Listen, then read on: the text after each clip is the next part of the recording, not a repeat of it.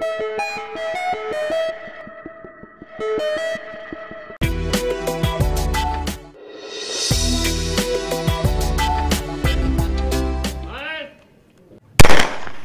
C'est quand même euh, un événement important pour le département de l'Orne, euh, puisque c'est quand même le meeting international d'athlétisme euh, Groupama, de le- donc à la ville d'Argentan. Et pour notre fédération, ben, un événement international de, sportifs dans ce département est assez rare, et ça justifie pleinement qu'on soit à leur côté pour cette belle manifestation. les numéros. Allez, Brice Kaba Badji, le Sénégalais, du côté du 100 longueur.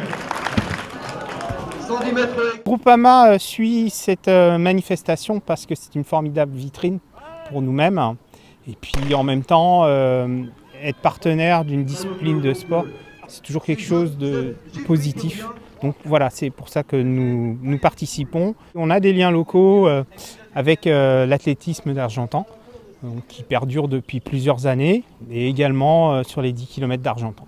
Donc nous avons comme discipline aujourd'hui du 110 mètres haies, nous avons du 100 mètres également chez les femmes.